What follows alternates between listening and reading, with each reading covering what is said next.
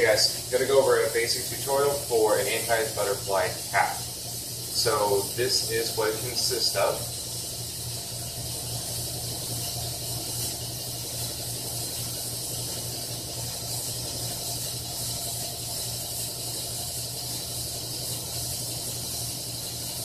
So it's just a variation of a wall plane with an anti-spin in different parts. What it composes of, two different parts, top half and the bottom half.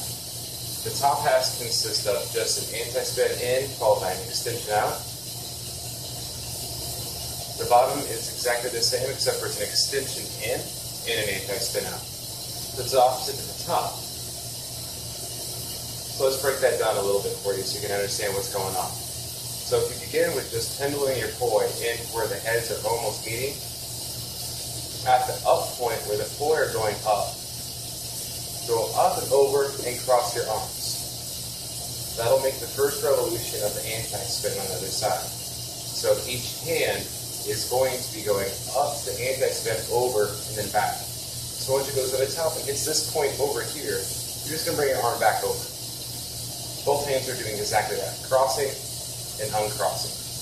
Crossing and uncrossing.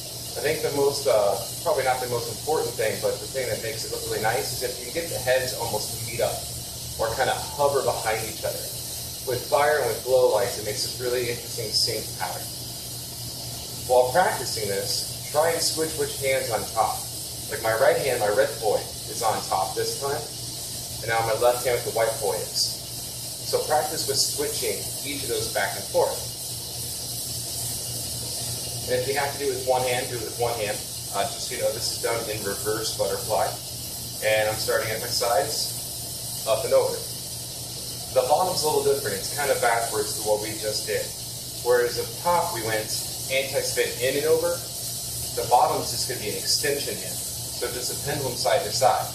And once it hits the inside where your arms are crossed, that's where the anti-spin, the downbeat's going to happen.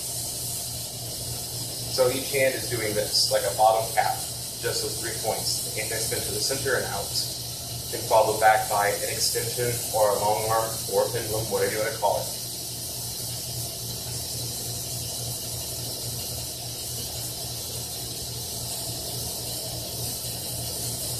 Drilling the bottom and the top halves by their own, with just an anti-spin on either way, and learning what the path is to anti-spin in towards your body or away towards your body is a very handy thing in the long term for running.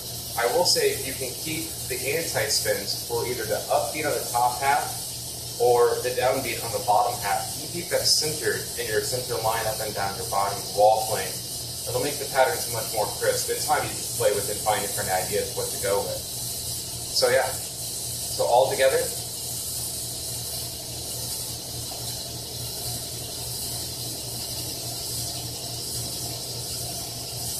So put them together, on that extension point of the top, where I'm coming out, I'm just crossing my arms and anti-spin.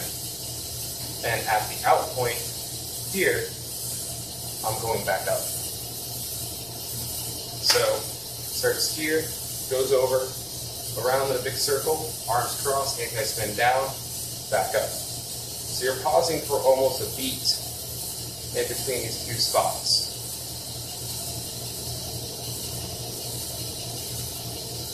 So, to play some variations, uh, you can add stalls into the side points and the center points of your anti-spins for the top and bottom half.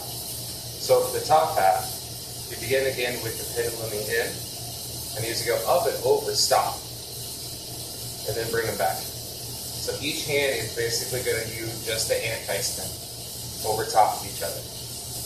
Left hand's the same way as the right hand. And when you put them together, reverse butterfly, up, stall, stall, stall outside, stall outside. And same thing as before, try and play with switching which hand is on top.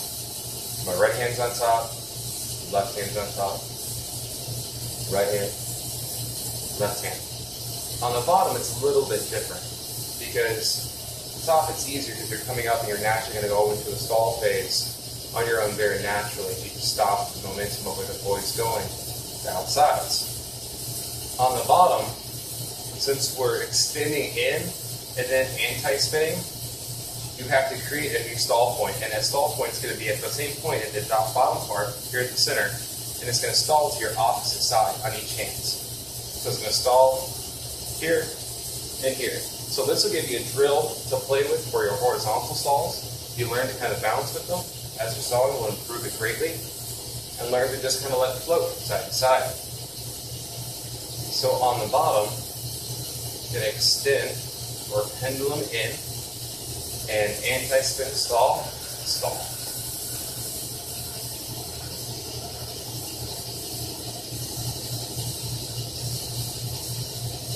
So that's the bottom part. And then you can begin to switch it from the top to the bottom.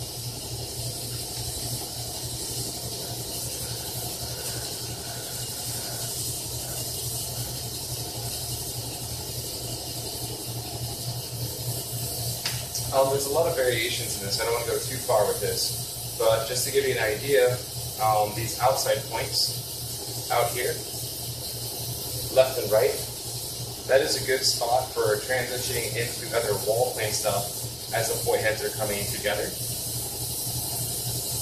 Um, it also is a really great transition for corkscrew, because when they're both out, you can bring them right back into corkscrew. So you can use this as a transition spot between corkscrew and that. It gets kind of bendy and not as clean at the top with the corkscrew, but you can use it in your spinning for transition it. Um, and that'll depend on which hand is leading. You can do from the inside as they're coming in.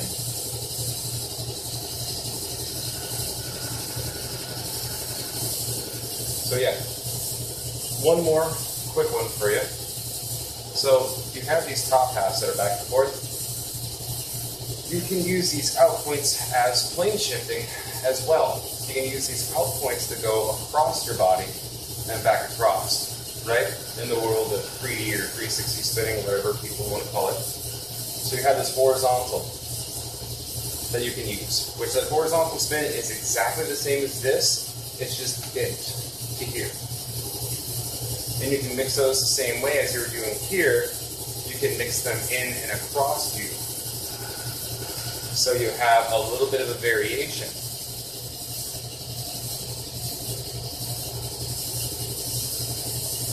Um, you can also mix it up at the bottom.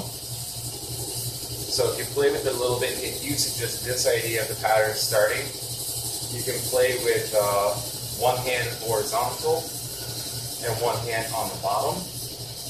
You can play with horizontal and flat. You can have one horizontal and one flat and wall plane.